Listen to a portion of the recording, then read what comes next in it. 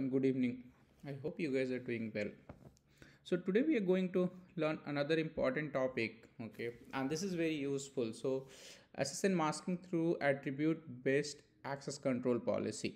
Okay, so I know like attribute based access control policies there from 7.x version as well, but I have seen that still many people are not using and especially if you're junior if you don't know like and and this is a very common requirement like masking either Aadhaar number or SSN so you must have seen that like last five digit is mask and last uh, four digit is unmasked okay?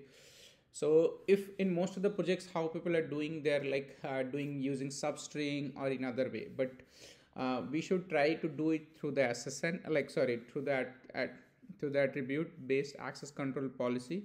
So today we'll be seeing in this in this lessons okay? So just be with me for 10 15 minutes and we will go through that whole process. So let's start it. So you can see that here on the screen i have that ssn number and so basically we are going to achieve this is the same requirement okay? So let's start that so for that first what we will be doing okay so i have already have a case type okay so i'll simply create a case type and i'll show you. So if i'll just fill some ssn number right nine digit ssn number and just submit a case. Let me just submit it okay. I'll just put something. Anyway this is not mandatory okay i'll just submit it okay? And i have another user okay? So basically it is going to approval level so i have another user so i'll just so you can see the value here okay? We have that complete value. And i have another user so i'll go and do that. Get next week get next work with that user so let me try that. So once i'll do that i'll get that case. So this is the case id 5004 and this is the same case id so we can see the ssn here the full. And this is the user. So this is also we can see the the full. Now let's say the requirement is that if any user is using okay uh, okay then we have to hide this one. Okay last five digit we have to hide and rest we have to display. Only for the users okay. So the other user id is this approver okay? So this is the access group he has. So we'll be using access group to put the condition. So we want if any users other than users then we want to display okay? So i have logged in through the author okay? So obviously when i'll run okay i should be able to see that. But when the same case is same case uh, user is opening then he should not see that. So this is our requirement. So let's do that. So the first thing what we have to do is that we have to go and create access control policy. So for that we need to navigate it to security and then access control policy. Okay so from here we can go ahead and create. So what type of access control policy we have to create? Okay so we have many in this actions. Read update discover delete property read and, and property encrypt. So today we are going to see property read. Okay uh, if you want to learn other things read update let me know. And also you know like uh, uh, if you want the complete training right then you can drop an email to uh, qtometa at the gmail.com so i usually attach that email in the descriptions of the video. So please let me know if you're looking for complete training. So today we are just going to learn property read okay?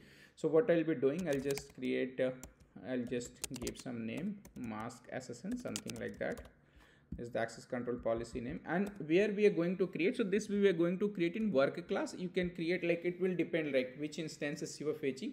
So basically we have this attribute that ssn on it's there on my work page only. So if i'll show you the clipboard page i have on the work page. So if i'll search ssn see this is there on the work page itself. Okay so that is where i'm trying to create in the work class. I can create in the um, case type class as well which is code but like i'm doing it in the work because this can be reused.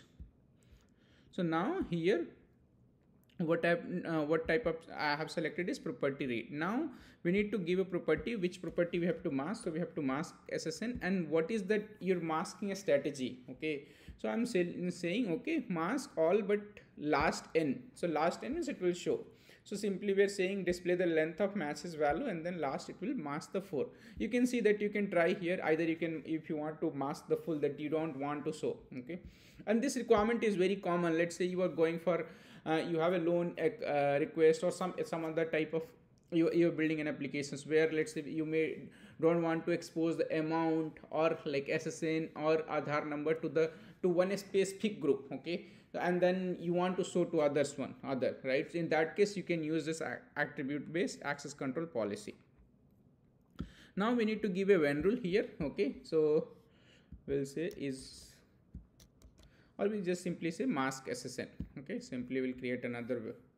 so this is access control policy when rule okay? So this we say access control policy condition okay? So this is conditions and this is access control policy. So let's first save this policy okay? So first i'll just here i'll give something and then we'll go into detail. Px create operator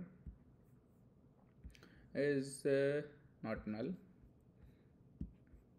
Let's see. And then i saved it okay? So now let's see what is happening okay? So we created that okay? Now let's see if some changes is happening. Still we can see that okay? Let's try with the user still we can see with the both. Now let's we need to add the condition okay? And and to trace that I'll, I'll show you tracer also how we can see that okay? So let's uh, do something here okay? So what I'll say is here it's saying when rule. So I'll say use user is user okay? Basically we need to check okay? We don't want to allow to user. So the first thing you need to understand that okay that if i'm returning true that means i'm allowing to see the value okay? And if i'm returning false that means i'm stopping okay? So here you don't have to confuse okay? So here i have to stop to user okay? And, and basically i have to stop a particular group that is where i'm creating. You can create other way also when rule that you can create uh, what all user groups you want to expose okay? So just you need to you need to understand this one very important that if i'm if this if this access control policy is returning true means the value will not be masked. If it is returning false then value will be masked. Okay so this is very much important. So let's say i'm creating is user. And is users i'll go ahead and i'll do will configure operator id dot py access group. So i'll just I'll, let's see i'll copy the system. System pages. So operator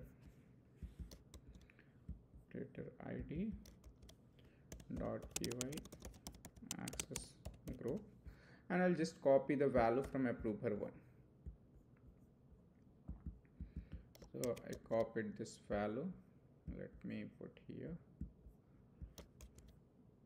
So this will return true when I'm like user is type of user okay? So any logged in user is uh, has the access group user okay? So this will return true but we want to hide that users right? So if i come to access control policy here so this means okay so this will return true okay because this when rule will return true. But overall we want to return false okay? So what we'll say here let's say a okay? And then in these situations what we will say px create control operator is null okay? I'll tell you why.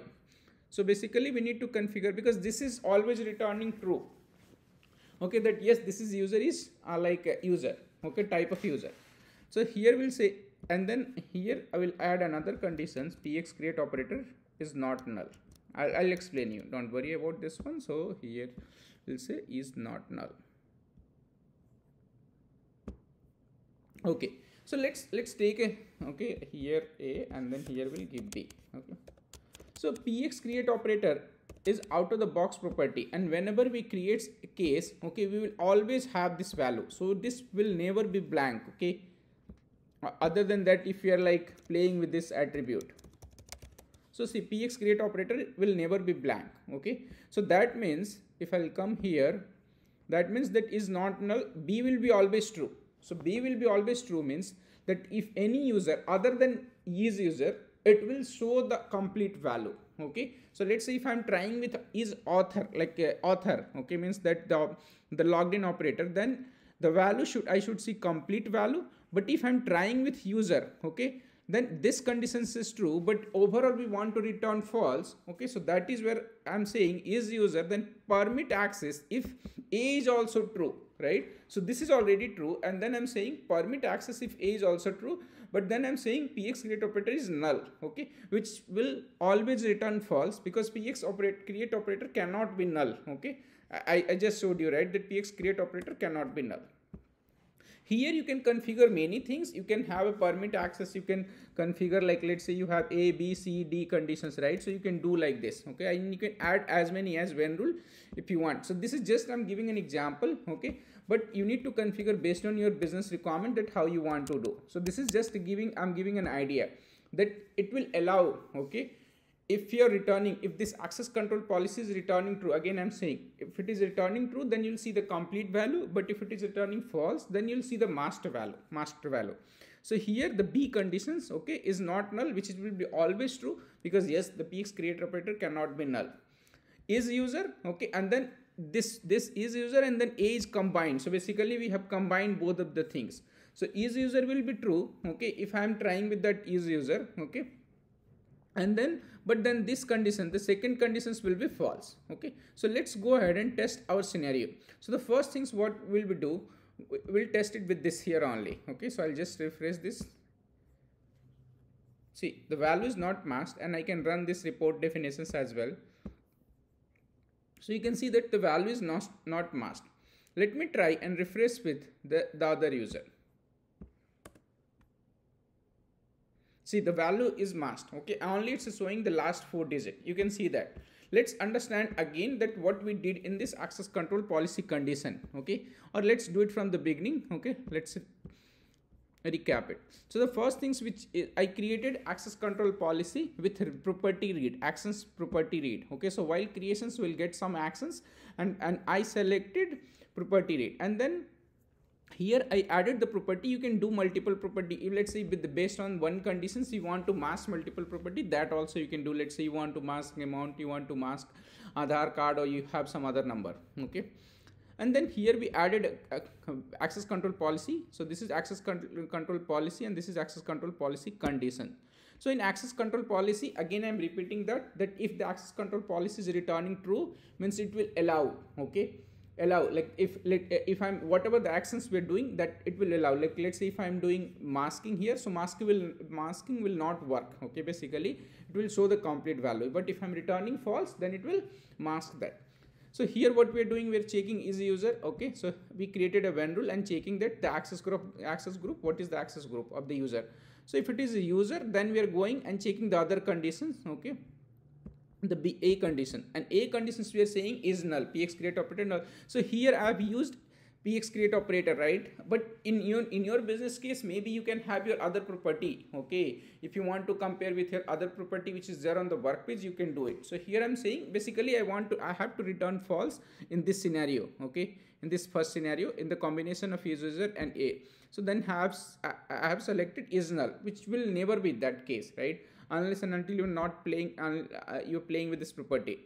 And then if not user other than user okay then it will come to this scenario because this will be false okay. Is user will be false then it will come otherwise it will execute b. And then what we are what we have added in b is that px create operator is not null okay which will always be true. And then uh, if it is true then will not mask. And if it is a false then will will mask okay. So let's go ahead and create another case and see that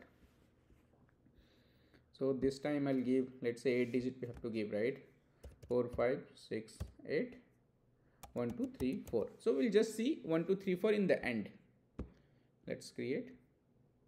So here we can see that entire value okay? So I, I just sent it to approval. Now I'll do a, I'll go ahead and do a get next work with this user. And see we are just seeing 1 2 3 4 in the last. So this is how we can do the masking okay and so this is uh, so we are done with that uh, today's class okay? So you, you try do the poc and let me know if you have any question. Or, and also if you're looking for complete training let me know okay? And i can help you. So that's it for today's session. So thank you. Thank you very much. Have a good day. Bye